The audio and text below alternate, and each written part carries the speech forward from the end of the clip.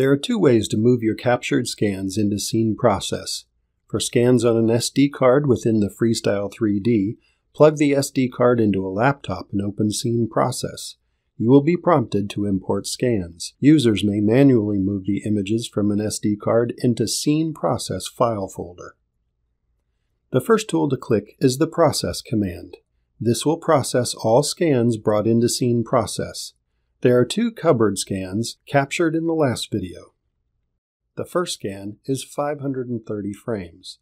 I am going to pause the video here and wait for the process to be completed for both scans. The processing of images is now complete. The timing of this process was approximately 5 minutes. In the upper left corner of the screen, the process command is green, signifying processing is complete. Once the scans have been processed, create a rotational point by clicking Rotational Point command and set a point to rotate the scan. You may also use the controls on the left and the right of the screen to rotate the scan. Another option for changing the view of our scan is the Level tool. To level our scan, Click the Leveling tool and click three points on the ground within the scanned image to advise the scene process of the ground location within the scan. The next tool is the Split command. The Split command can be used to separate a scan into different parts.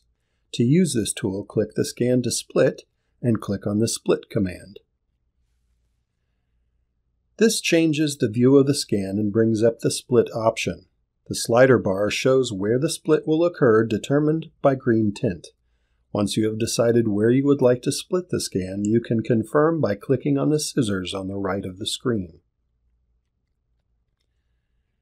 Now we're going to register or join our scans to form a single scan of both images. Click the cupboard cluster and click the Place command.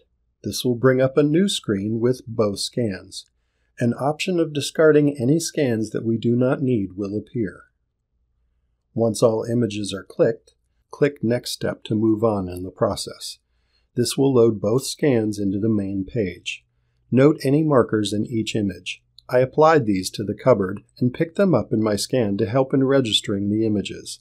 In the bottom right of the image, the program has automatically picked up on three markers, which is called correspondence. Correspondences are used to register the two images together to create one unified scan. You can also add correspondences manually, which can be completed with the options Scan Points, Spheres, Checkerboards, or Planes. Using the sphere correspondence, click the sphere located in both images.